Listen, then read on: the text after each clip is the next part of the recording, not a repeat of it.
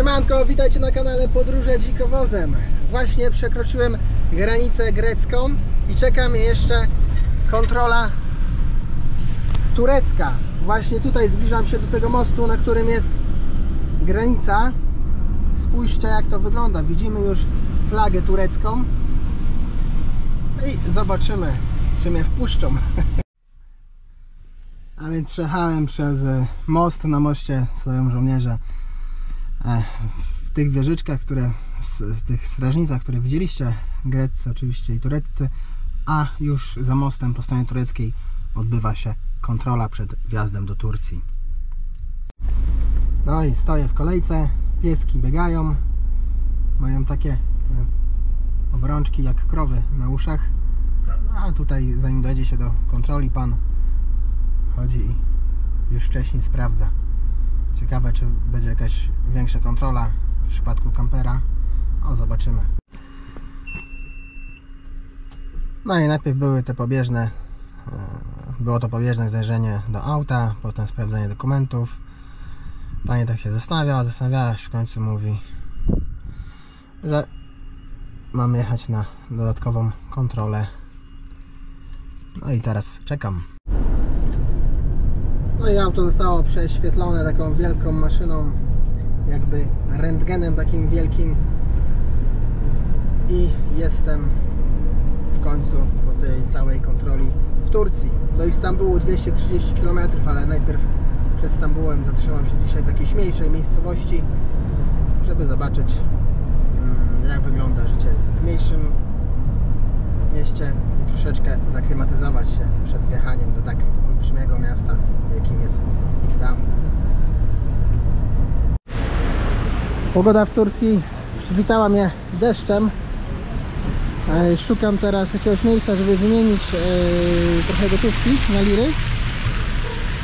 Co ciekawe, żeby wejść do centrum handlowego trzeba przejść przez kontrolę. Rzuca się na taśmę swoje rzeczy jak na lotnisku, jeżeli ma się jakąś torbę ale tam i tak nie było e, miejsca, gdzie można, nie było kantoru, także ktoś mi powiedział, że będzie on, e, żeby iść w tym kierunku, także idę, może znajdę. Kaska, kaska wymieniona. I coś takiego, taki kebab 3 euro, 60, 60 lir, ile dobrze, ile dobrze liczę. A więc jestem już w tym, z powrotem w tej galerii handlowej. Tutaj widzimy jak e, wszyscy, którzy wchodzą do środka są sprawdzani przez ochronę.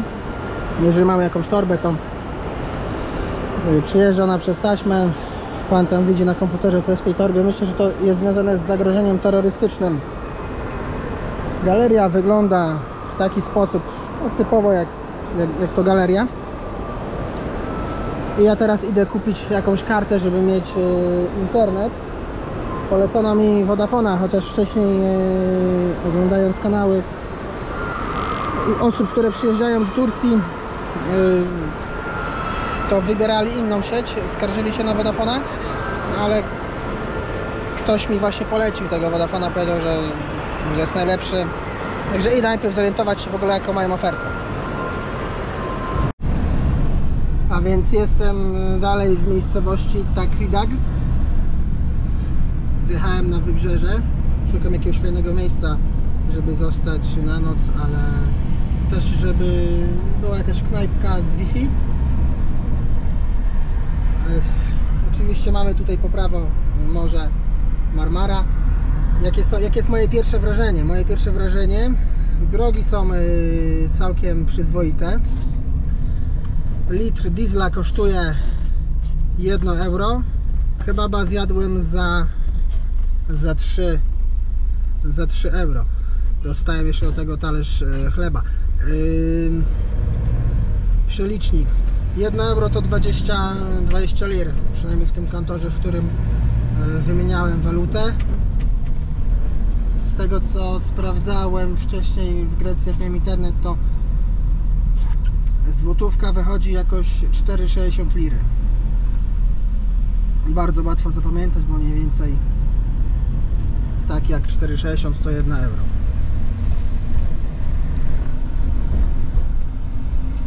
No i tak to wygląda. Jadę szukać miejscówki jakiejś fajnej. A więc tak się prezentują ceny. Zaczynamy od pieczywa.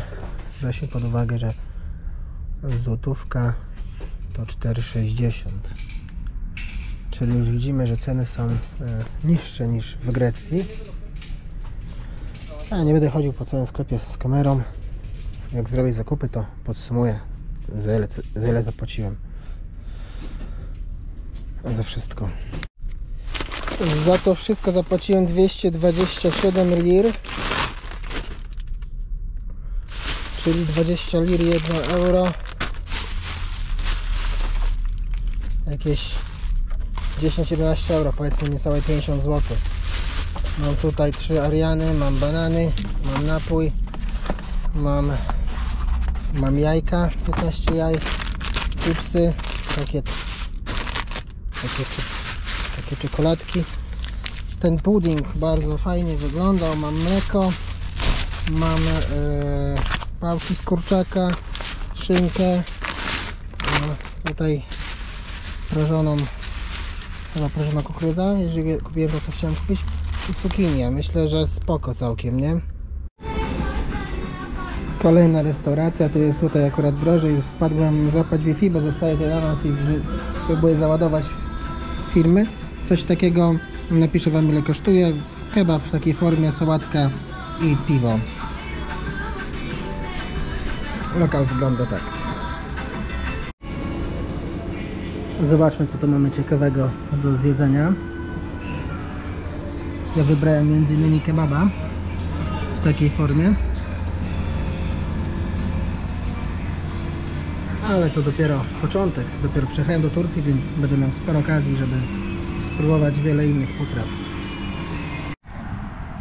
No i moja pierwsza, noc w Turcji wygląda w ten sposób, że zatrzymałem się przy takiej drodze. Nie chciałem zatrzymać się w takim miejscu, ale nie mogłem znaleźć żadnej tawerny, czy w ogóle lokalu, gdzie jest Wi-Fi przy samym wybrzeżu, ponieważ to jest tak zabudowane, że cały czas jadą do Stambułu, tutaj znajdują się zamknięte osiedla.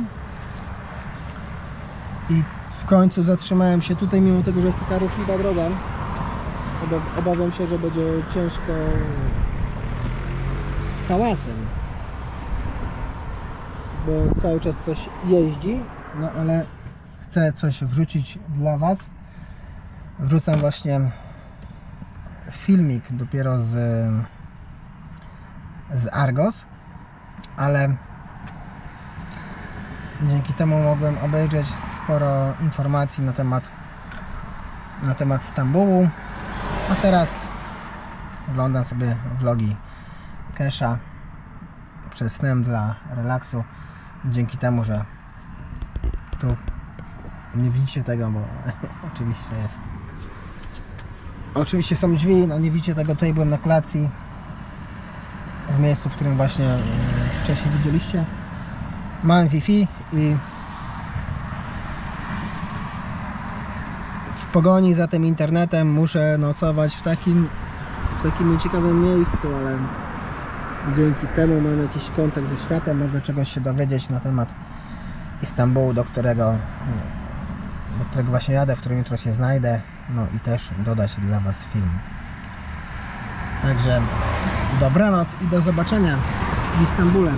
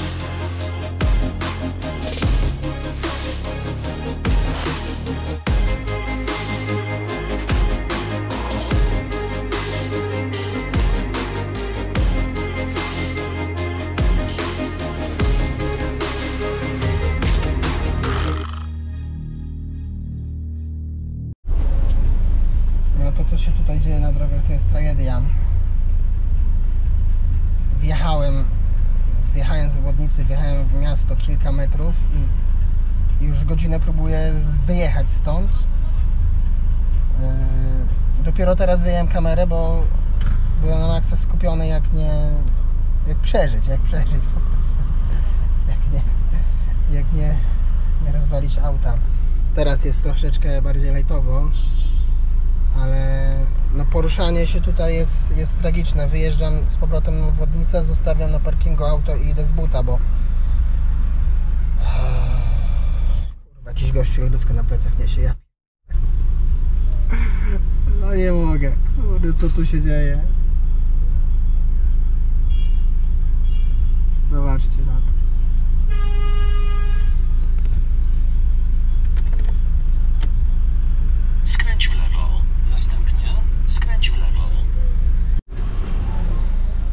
Już jeżdżę z lusterkiem zwiniętym, byle się stąd wydostać. Zobaczcie, ktoś sobie zaparkował na środku drogi i wozi swoje toboły. A tutaj chodzi gości i noże sprzedaje.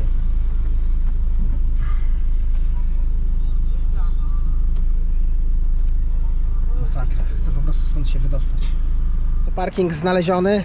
Niepotrzebnie próbowałem szukać jakiegoś miejsca w, w mieście.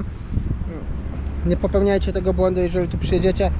Wybierzcie przy obwodnicy bardzo blisko centrum. Są takie płatne parkingi.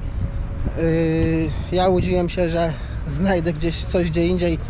Jednak nie ma to najmniejszego sensu próbowanie szukania i wbijanie się w ogóle w miasto. Jestem tutaj nad samym morzem. Zobaczcie, jaki tu jest tłok, ile tu jest stateczków. I idę teraz oczywiście zwiedzać. Zobaczcie, te wszystkie meczety, które są najważniejsze, są blisko tego parkingu. Także ruszajmy, bo szkoda czasu.